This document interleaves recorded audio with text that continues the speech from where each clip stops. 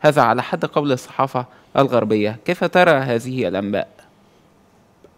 يعني أنا أعتقد بأنه هو يتكتم على حالته الصحية لدرجة يستحيل آه، أن نعرف الحقيقة هناك شيء هناك بالتأكيد شيء سلوكه الذهني وتصرفاته وعصبيته وطريقة تعامله مع الناس وحركاته آه اثنين هدول دليلين العقلي والجسدي يدلوا إنه في مشكلة.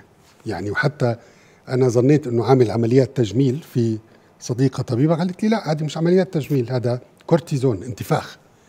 الانتفاخ غير عمليات التجميل.